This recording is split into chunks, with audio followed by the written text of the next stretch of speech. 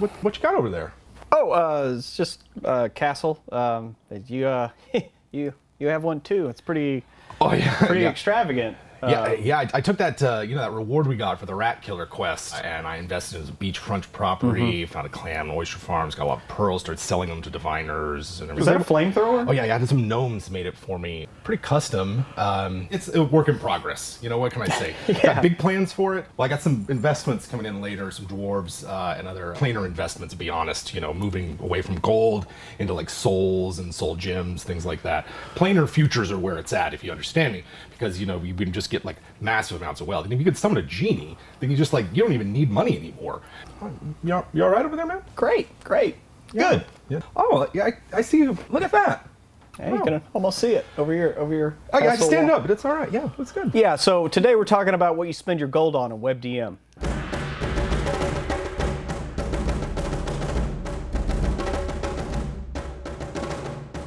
Okay, Jim. Now that we got the castle envy out of the way, Yes. Uh, we're here today to talk about what the hell your players are going to spend their gold on. Right, Because we yeah. get this a lot. Like, we do get this one a lot, yeah, yeah, and I see it a lot online, just hanging out, and it seems like it's a problem that's maybe unique to fifth edition. Like earlier editions, you had a money sink that you had to, that you had your characters had to put their money into, whether it was like hirelings and strongholds and things like that, or magic items in third and fourth edition D and D. But that's not around in fifth. A common refrain that you'll sometimes hear is like, after plate mail. What is there to spend money on? It's a problem that speaks to kind of the nature of, of fifth edition and how the culture of play has maybe evolved and changed. And we're doing more like action fantasy. It, it's saving the world. It's like high paced and, and sort of like, what are you going to do? You're going to go to your day job and craft something when the world is at threat and you're the only one who can save it. On the one hand, the, the the kind of games that we've seen from Wizards of the Coast have this urgency to them that doesn't suggest that you're going to be like counting coins and doing a lot of accounting type work uh, in your adventures. But at the same time, it's like, then why have it there in the first place? So if gold's going to be a part of the fantasy worlds that you're in and it's going to be a reward for the adventures that you go on, then there should be something to spend it on and something to you know invest in and, and to add to your character in the world i think it's a problem that, that people face and i think it's worth a worth a chat okay, so where should we start? Uh, maybe in the PHB? Yes Yeah, because I mean they have a few things to say about how you live and, and what to spend it on. Absolutely, yeah. And it's the same kind of a, a level of abstraction that we see in a lot of other sort of systems in fifth edition, where the living expenses fold in all kinds of things. And, and really, you would want to work with your DM or, or have the DM just sort of describe to you, like, what is it that's actually covered in the living expenses and, mm-hmm. and how does it differ from, say, the descriptions that are in the player's handbook for, like, what's actually particular to your game. I keep coming back to the living expenses because when I look at like, okay, what would you spend your money on regularly? This is it. If you don't have a lot of downtime, if you don't have like a home base that you go to mm-hmm. or like a home city or something that your characters or your campaign revolves around, then it can be harder to do living expenses. We'll get to the downtime stuff later. It's one of those things where I, I feel like having done WebDM for a while, you know, for as long as we have now, and all the questions that we get, there's like a category of questions that's basically like there are rules in this game that you're just not using. There is a problem. You're handing out treasure and you've got all this gold, the players have all this money that they could spend it on,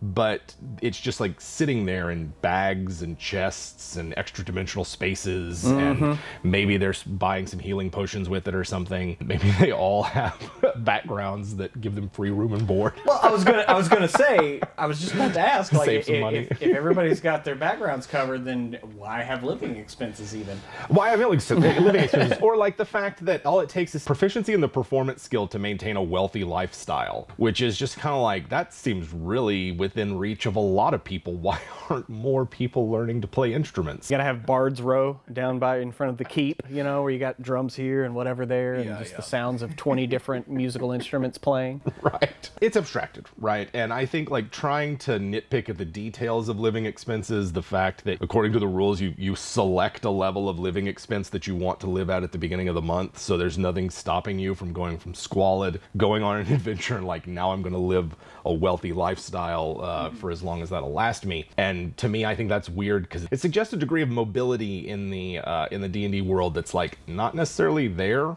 in the mm-hmm. inspirational source material or certainly historical source material. It seems weird to me in that sense. It's one of those things where like maybe one month you're going out to eat and you're going to movies and stuff, mm-hmm. and this isn't from personal experience or anything. and then one month you're like, I need to save money. So maybe I'm just going to eat ramen and cereal and stay home and watch Netflix. Sure. Right? Sure. I'm choosing to not spend that much versus yeah. spending more. This sort of points to the fact that D&D, especially as it's described in like modern editions, isn't it's got the trappings of medievalism about it, mm-hmm. but it is not medieval at all. And so living expenses is where I'd start. And this is where, if, if, you look at it, you can see that there's close correlations to how much, say, skilled and unskilled laborers earn. So, like, for instance, if you're looking in the player's handbook, an, an unskilled laborer earns two silver pieces a day, which you can see corresponds exactly to a poor lifestyle.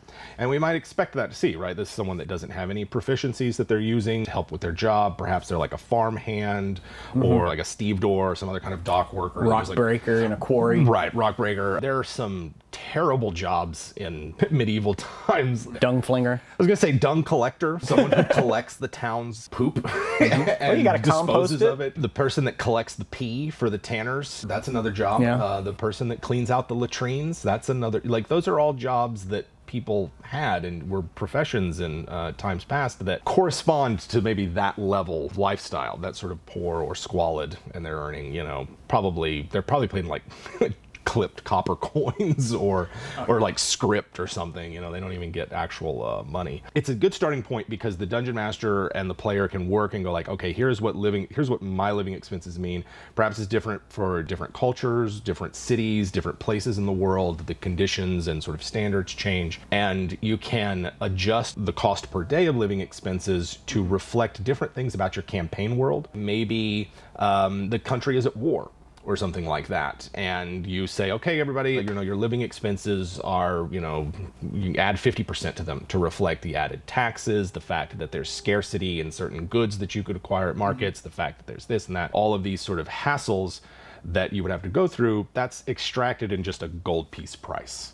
And we're not looking at like modeling markets and having a functioning economy. We're just looking at like this is a convenient game mechanic for your players to interact with that gets rid of some of their money. It gives them a sense of accomplishment, you know?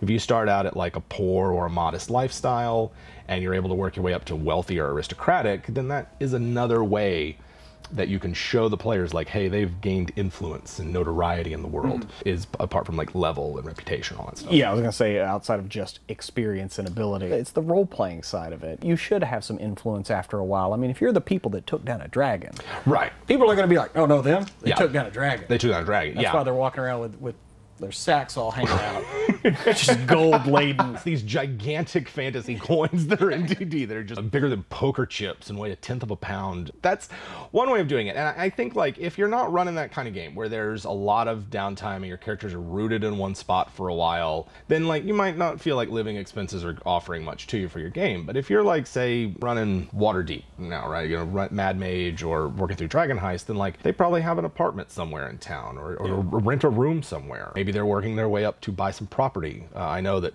uh, Dragon Heist has a tavern that you can acquire somehow, and you know, that's sort of like a way to offset some of your living expenses. Mm-hmm. Uh, although uh, obviously you have to pay for upkeep and things like that. Pay those employees. You got to pay for 401k, matches, dental. Yep, yep. Uh, got to have a competent HR department. It's a good starting place because you can modify things, and there's a lot of like really cool implications that come out of lifestyle. And I think coupled with downtime activities they go really well together. And as Xanathar's guide points out to us, if you find that your players have a lot of money, then downtime activities coupled with living expenses are a great way to take care of some of that. I'm sure the DMG kind of uh, expands on that. Maybe a few other things and things that were in like past edition. I mean, yeah, maybe you get a keep. You know, Maybe you got to have a keep. But there's still room in modern D&D for that model of play where you get to a certain level and your character becomes like tied to the world a bit. If we're talking about high fantasy superhero action, you got to build Avengers Tower eventually.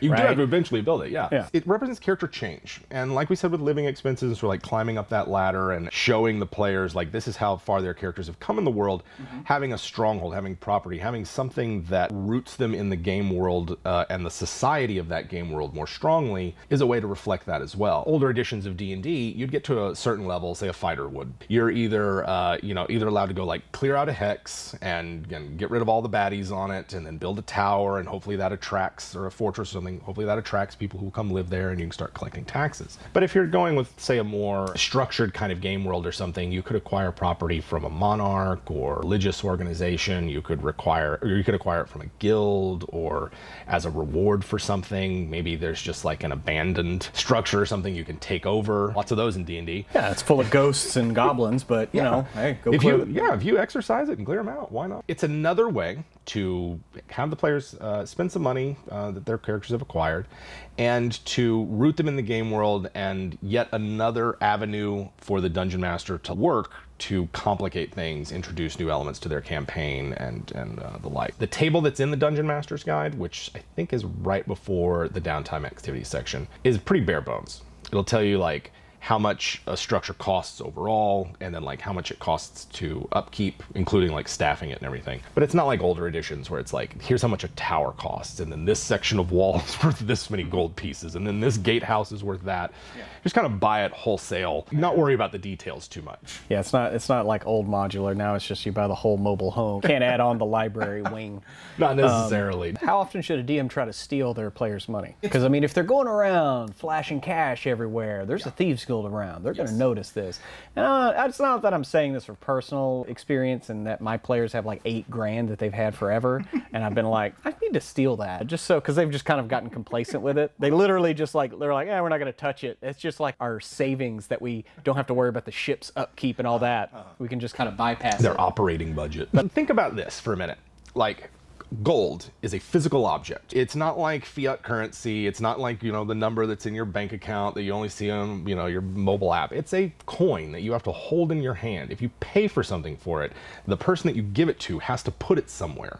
They've got probably have a lockbox. They might have someone guard, helping them guard it. It's kind of one of those things where you don't really think about it and it's just like a number on your character sheet and because most people don't seem to use encumbrance, it, it never really comes up, but if they're walking around with thousands and thousands of gold pieces. It represents a significant amount of wealth if you look at just like how much the average person earns in Dungeons and Dragons, which is like two gold pieces a day, either two silver or two gold pieces a day, one of the, you know, somewhere between there. Thousands of gold pieces is a tremendous amount of money for in, almost anywhere they go. That's a target for monarchs, for thieves, for religious authority figures, for guild masters. Everybody's going to want a cut of that. Are you trying to get through this gate? Well, here's a tax on this one. You know, oh, you don't have the right license. Here's another tax. You can take it legitimate, like through more, I guess, legitimate means, otherwise known as taxation. Taxes theft. Illegitimate means, which is called theft. It's still the same, right? Yeah. And players, I think they'll be more likely to accept sort of like this is the world they live in their costs sort of operating in this world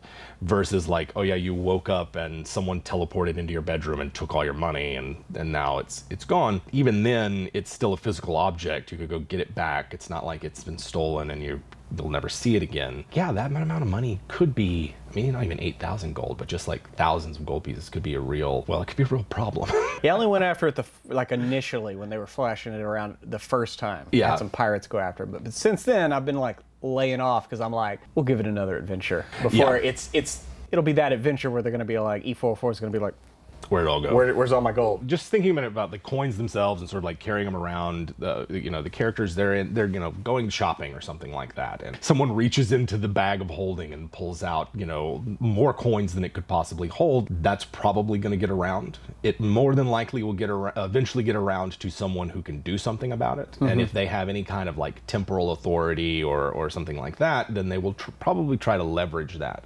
Wars are really expensive and in our own history, monarchs say debasing coins or or trying to find ways to get more money without having access to a gold mine or a silver mine fuels a lot of problems and and it's a real limitation to pre-modern societies and the fact that in D&D people just walk around with tons and tons of gold. I think there's ways to play with that and ways to make it both an asset and a, a sort of a, a burden for the uh, for the party. More money, more problems. It's a common refrain for a reason.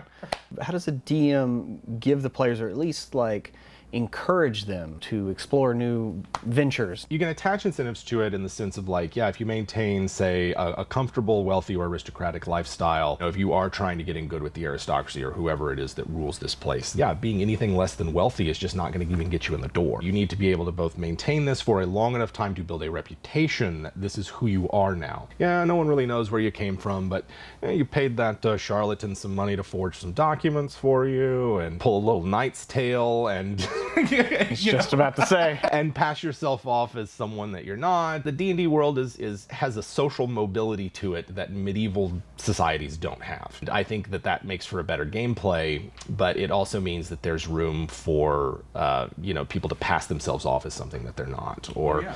to remake themselves uh, in some way. The intersection of your character's reputation, their wealth, and their background is a great way to model what their position in society is, who they have ready access to in society, and how those people will treat them. Your characters might be like, yeah, you know what? One silver piece a day for squalid. Don't even worry about that. I'm going to be, I'll just do that, saving a lot of money well, maybe you're subjected to different kinds of crime for that. And, and if you walk around and you still have a lot of material objects that are worth a lot, but you maintain a squalid lifestyle, then maybe your neighbor's going to be like, what are you doing with all that arms and armor and magic items over here? Like, are you holding out on us? Those are the kinds of things that you might do if, if they're trying to save some money or, or live on the cheap side. Maybe you give them disadvantage on any save versus poison or disease because they just live in terrible conditions and they're malnourished and they might be adventurers, but they're not taking care of themselves themselves. Mm-hmm. Or maybe the opposite. If they maintain a comfortable or wealthy lifestyle, they have advantage on those kinds of things because they're able to eat well and sleep well and, and have a, a safe place to, to stay. A little harder to like maybe uh, get exhaustion, kind of like the Adventures of Middle Earth when you disembark, you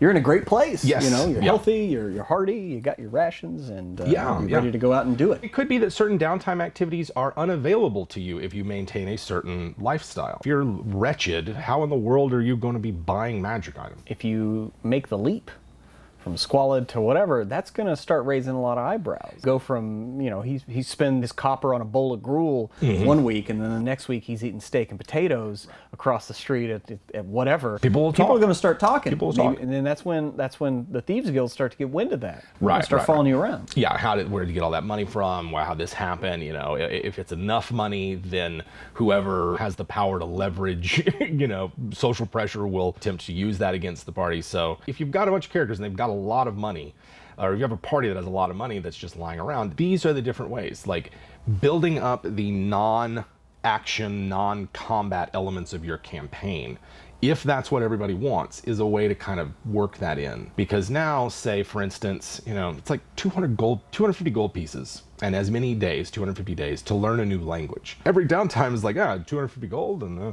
you know, it's 500 total because you have to spend a gold piece a day for that, plus living expenses, and yeah. then, yeah, yeah, now I know a bunch of languages. I mean, I know that we used to do that in our back in our second edition days. It yeah. was one of those things. Everybody would be like, "What language do you speak?" Okay, uh, we're going on this adventure. All right, well, he's going to be teaching me this. I'm teaching them this. Yeah, and we tell the DM, "This is what we're doing." Yeah.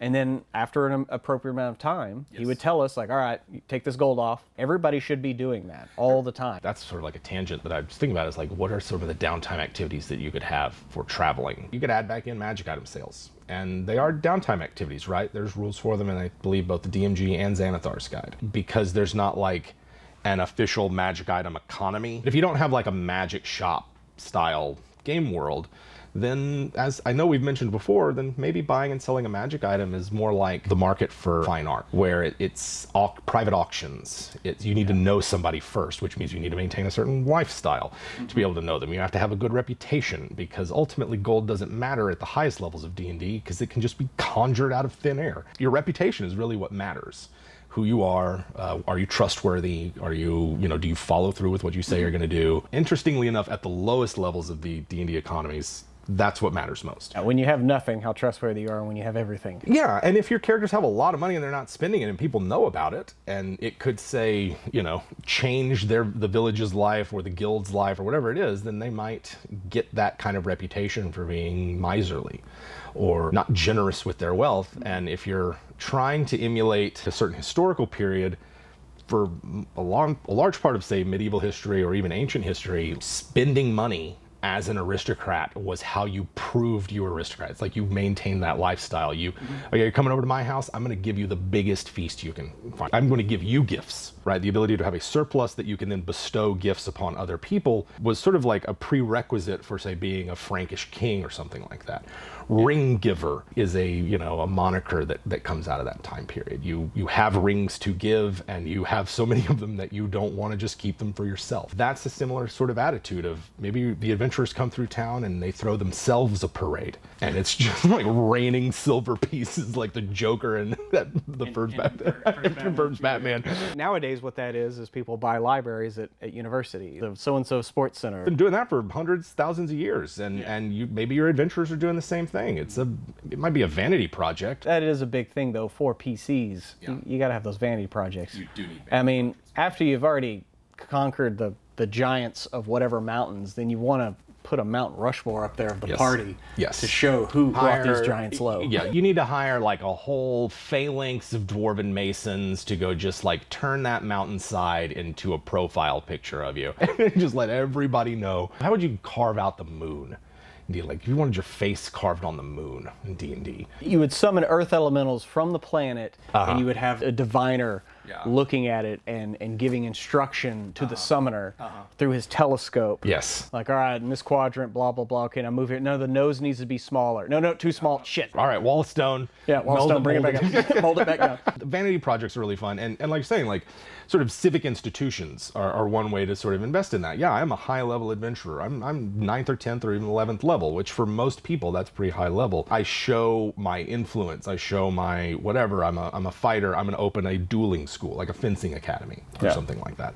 Or i am a wizard and i believe that you know this the fact that anyone can learn this these spells and change their life i'm going to open up a self-help academy. Where our trained staff of magical tutors will give you everything you need to make you wealthier and wise or something like that Wouldn't that be a spell help academy? Spell Help Academy, yes. At some point, it's like you're limited by your imagination. And yeah, the equipment tables in, in the player's handbook, there's not a lot of them. You're not going to be able to spend a lot of money to increase your character's personal power level the way you could in third and fourth edition. But I like that Mm-hmm. because there was a, a point at which if you were playing one of, either of those editions and you were not spending your money on magic items to acquire them, and that's how we ran it. Like I don't think we ever bought or made magic items in third. I'm remembering a couple of items that we had made. I think it was a sword or a suit of armor or something like that. But for the most part, it was we sought out the item through a third party and then would purchase it. a genuine critique of third edition that said if you weren't spending your gold on that, then you would fall behind. The game assumed that you were spending your gold on magic items, which meant that you would fight X number of monsters at X level and whatever, consume Y number of resources. And if you didn't do that and you wanted to spend your money on vanity projects, then you would have to accept that, yeah, I'm not going to have the the gear that I would need to compete. So decoupling money from personal uh, character power, I think is a good thing because it frees you up to be like, listen, my character has a class, they've got abilities, all that stuff. That's their primary sort of driver for their personal power. Their money is how they interact with the rest of the world. And if they've got enough money to sponsor a feast hall for the guilds of a city, or you know, upgrade the walls of a town because we listen, we helped you defend the you know the attack of the ogre empire, and now we'll help you rebuild. They've got those kind of resources then at some point, like you can either uh, have that fold in sort of their reputation or whatever, or it can create problems for them, as the legitimate authority might be resentful of the adventurers coming in and doing all this stuff. Yeah, when you start taking the power away from those that are supposed to handle the defense and the upkeep of a, a village or a town. Yeah. I mean, that might be a move as like a backdoor coup. Like you're just trying to win over the people 1st mm-hmm. and you move it up one town at a time till you get to the big old capital city. Yes. And it's like, why aren't we in charge? Yeah, why aren't we in charge? And you're like, look at something like, say, Republican Rome, where in order to climb up the ranks of the Cursus Honorum, the sort of like ladder of offices that you would rise through, and they all had different property requirements, age requirements, and the like. But in order to do that, in order to get your name recognized, you'd often have to spend tremendous amounts of money throwing games. Basically, like, I'm going to feed everybody in the city for a day. And they would bring out like big tables and they would go through neighborhoods and it would and it would be known that like so and so patrician or senator or whoever bought you this meal like you are eating this bread, drinking this wine, having this food because of this person. Later on, you're going to go watch some gladiator games because of this person. Yeah. You're going to go in this building, which was built by this other person. And so, like, your personal reputation was at stake in these and it was all tied up in how much money you had and how willing you were to spend it. No, now I want to make a character, probably like a centaur who like opens a racing track. Because I was like, uh, casino would be fun, but gambling in another way, like you'd need a Griffin racing track or like some kind of crazy D and D thing. That would be really fun, and, and yeah, so gambling that's based on that, and taking bets down at the hippogriff track, going to be a, uh, a great way to, to burn through some of your money. And I think there's a carousing table in Xanathar's guide that you could probably modify for something like that. Fifth edition's heroic action works best as sort of a mission based approach. Why are we even tracking gold pieces at all? We're not getting XP for gold. What's the narrative purpose of spending money?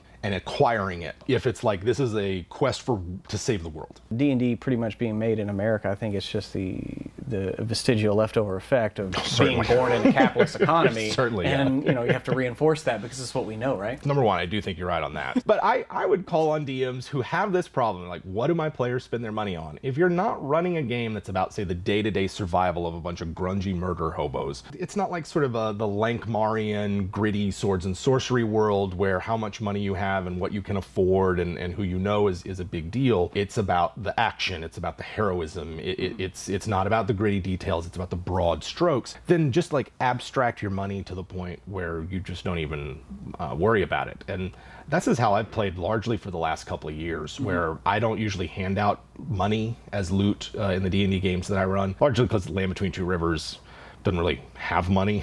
They've got bits. They've Sometimes got they get some really good teeth. Sometimes they get some really good teeth. Yes. Like no cavities or anything. no cavities or anything. These some dragon teeth. Like magic items are, are loot. Reputation is. Uh, access to things uh, are, are part of that loot. If I was going to run something like whatever the latest module is or something like that, I might not track money and I might instead come up with something that lets me abstract it and is inspired by games like certain White Wolf games or mm-hmm. Call of Cthulhu or Marvel FASERIP, where yeah, where you have like a wealth score. Yeah. So instead of like having individual gold pieces, you say make a wealth save whenever you try to purchase something significant. And you get a modifier that's based on your relative wealth score. We just looted the Dragon's Hoard, so we get like a plus 10 to our wealth save. Depending on how you do on the save, you either don't subtract the modifier or maybe the purchase is big enough that like, yeah, we had 10, now it's plus 9. And you just sort of abstract it that way and then major purchases like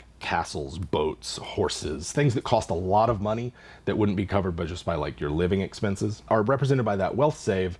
And then your living expenses are just sort of abstracted away even more. Yeah, if you have the time to practice a profession or do a thing, then you have a place to sleep, you have food to eat, that sort of thing. And I think that that might make for a more engaging experience for DMs because then they're they're not having to worry about this thing. You you can see that there's just a lot of angst about it, a lot of anxiety. Like, how do I do this? What do I do with my money? What do I do with the players' money? They have too much. They have too little. How much should they have at this level? How much should they not? It seems like that really gets to a lot of DMs and just like why are you even worrying about it at all? This is a game about fighting monsters and casting spells and saving people and doing heroic things and not counting coins. So that's an option is to just say, no, thank you. We're not worried about it. Yeah, I think that's how uh, Robert Baratheon would handle it. well, no, he hated counting coppers. Well, sure he did. I know, figures, but the Iron Bank doesn't. They, yeah, the are, Iron Bank is going to get their gold. Grungy murder transients head on over to Patreon for our weekly podcast and so much more. Want to see us play? We've got games every week on Twitch, which we upload to our second YouTube channel, WebDM Plays. If you like the video, hit that subscribe button, click the bell, give us a thumbs up, and tell us in the comments. Thanks for watching. I just like hanging out and being a gray name NPC. I don't have any quest info. We don't have a card for the game that's going on here. Had like three or four people come up and ask us if we have a clue. We don't have a clue. We're just background. It's like this is the starting level of an MMO, then we're like the background NPC that's just like commoner, level one, priest, CR one half. You know, like that. That's where we don't have a name. We just have a. At best, we've got random personality traits from the table in the DMG if the DM remembered to roll them. Probably didn't. They're just going to make something up off the top of their head. It'll be the same as the last NPC, they made at the top of their head. And if you want a cookie, they are available. Really? Yeah, I made snickerpoodles. Uh, that's one of my big things. They're very good. They're, yeah, I mean, but no, no offense if you don't want one. I understand. You have a you have a temple to maintain. So I work out hard enough.